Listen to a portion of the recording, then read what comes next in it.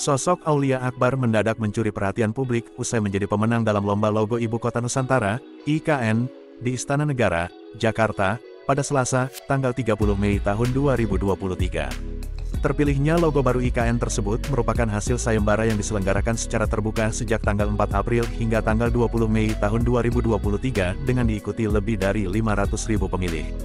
Berdasarkan hasil sayembara pada periode tersebut, logo dengan vote terbanyak adalah logo nomor 2 oleh desainer Aulia Akbar dengan tema pohon hayat yang mendapatkan total vote mencapai 133.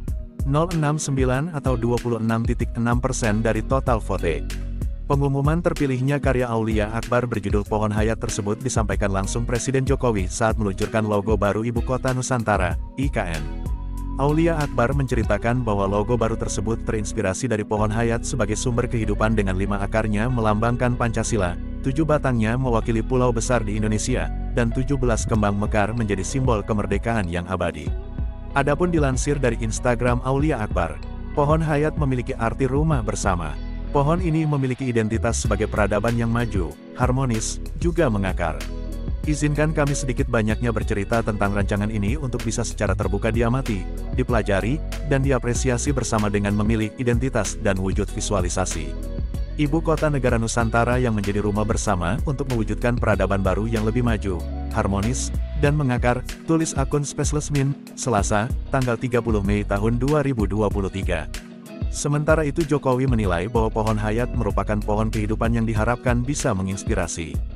Bahkan IKN Nusantara yang dibangun di Kalimantan Timur sebagai tempat hidupan baru bagi kita semua.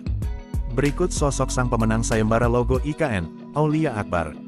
Aulia Akbar diketahui adalah lulusan dari jurusan Desain Komunikasi Visual Fakultas Seni Rupa dan Desain, Institut Teknologi Nasional, ITENAS, Bandung.